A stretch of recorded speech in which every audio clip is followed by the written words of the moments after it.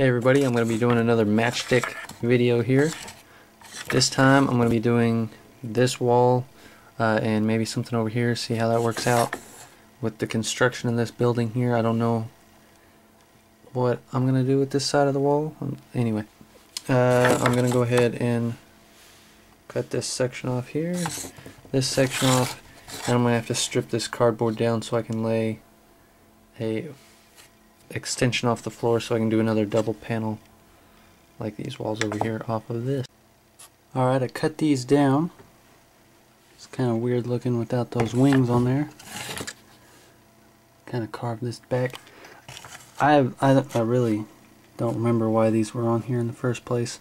I think there was a video when I made it, so I may go back and look, but I'm not sure.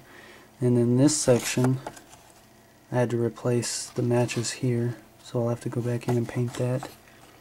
Uh, yeah, just okay. So I'm starting on the wall here. Get, get, get back down there, sir. I've got the uh, the sport here, and I'm starting the wall. I uh, I left a gap right here because I'm gonna go ahead and just make this the edge of the wall. Like this, this is gonna be it. Uh, it's gonna be this wide instead of like in the the original photo. The wall would have come out to here, and then also over here and then jet back. Uh, but I'm going to make this a little bit more squared off. Punching things. So I'm going to leave a gap here. Anyway, uh, what I'm getting at is I need a door for the bedroom up here. And I'm wanting it, uh, we got, the, these two doors are in the center. And I want to offset this one so it's, it's you know, uh, a little bit different.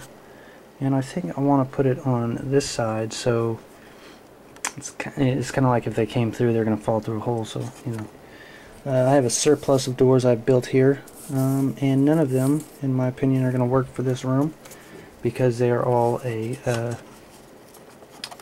exterior door kind of style. But this is where it's going to be, possibly. I don't want to get it too close to that wall, maybe a little bit over. And uh, so I'm going to have to build a door. Uh, the funny thing is, though, is like my bedroom has an exterior door on it. So, yeah, I don't know. I'll have to find a way to build something to look more like an interior door. So I've got the door built. I've painted it uh, with some greens and yellows to kind of match the room. The rug and the walls are green, you know. Plus it also makes it look kind of moldy. Uh, once I got some paint on, I took uh, just water and kind of rubbed it down with a brush to kind of give it to, to pull the paint away and kind of make it worn because it is next to a big gaping hole in the wall. The back side kind of has some some stuff to it. I put a door uh, pull on it. It's just a wood slab and uh, some slats which kind of give it um, a strength so it's not bowing. And I kind of like the look like an old wood door. This is going to actually be open a little bit and that's why I've kind of painted it black. You're not going to be able to really see the back of the door, but you can you would definitely notice uh, the white paper and unpainted. So that help mask that helps mask that. So I built up this back wall here. And got a little hole in it. Pretty cool. I also painted the back black uh, because I don't know with the rest of the house I'm gonna have windows so that you can see. So I want this to be black now before I you know can't reach it to paint it. I've got this wall attached on now. I kind of figured out how I wanted this done up. Missing some slats.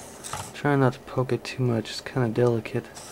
I still need to put the roof on. Hopefully that'll that'll help. I'll have a uh,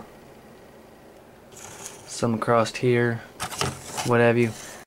Okay, this wall is holding up a lot better than I thought it would, which is awesome. I also added in some wallpaper. It's uh, not exactly the same as this, um, but I figured this is going to be uh, more, uh, it's got more weather smacking on it and crap, so it's going to be a lot, uh, a lot more messed up. Got some dirt and mud on it. I've got the door back on here. I cut it down uh, uh, about a match, I guess, shorter than the wall. And I uh, got a lot of glue spackled on there, as well as over here. This wall was kind of wobbly. Uh, I never glued it to this wall, so hopefully that adds some stability. Um, yeah, this glue is really, this really makes it structurally sound. Uh, this Titebond 2 premium wood glue, it is amazing. Like, I only have two points on this wall here, and I'm giving this a pretty fairly tough tug, and that's holding it together pretty well for something that's, you know, connected here, here, and then just there, and that's it's not exactly a big surface to be holding on to. And then of course the, the door's holding onto the wall. And that door was pretty tough to, to get off there without, you know, damaging anything. So, uh, I, I really recommend this Titebond Premium Glue. So, I am starting work on the roof here. I got the room looking pretty awesome. All this jazz. And uh, yeah, I guess it's going to be the end of the video. Uh, if you like this, subscribe. Hopefully I'll be working on it, getting it done pretty soon. Uh, you should go and follow me on Twitter. The link will be in the description. I upload photos as I go, so you don't have to sit around and wait on my videos to come up. I'll also be putting up uh, other things like uh, drawings and stuff I do. So thanks for watching, and I will talk to you soon. Bye.